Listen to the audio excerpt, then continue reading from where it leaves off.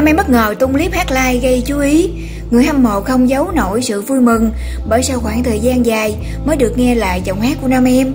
Những ngày gần đây, nam em đang dần trở lại với hình ảnh mới theo chiều hướng tích cực. Nàng hậu không còn những hành động hay phát ngôn gây tranh cãi. Thay vào đó, cô trở nên dịu dàng đầm thắm và ý thức hơn về những ồn ào mà bản thân đã gây ra trong quá khứ. Mới đây nam em đã gây chú ý khi đăng tải dòng trạng thái đầy tâm trạng. Nếu trên đời không còn tồn tại tình yêu, liệu rằng ta có tìm thấy hạnh phúc?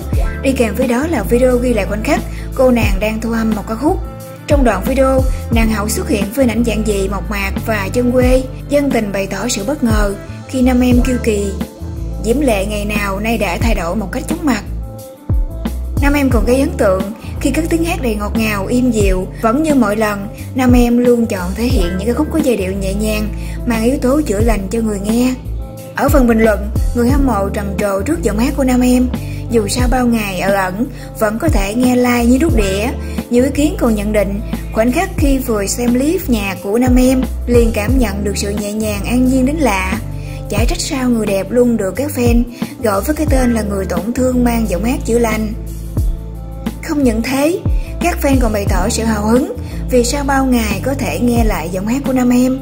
Mặc dù chưa biết rõ việc Nam Em có thực sự quay trở lại làng giải trí hay không, song người hâm mộ vẫn xem đây là một tín hiệu vui. Cách đây không lâu, Nam Em gây xôn xao với tuyên bố quay trở lại với âm nhạc nào. Kèm với đó là loạt khoảnh khắc trong phòng thu cùng bạn trai Bửu Cường. Thông tin này nhanh chóng trở thành chủ đề bàn tán công chúng.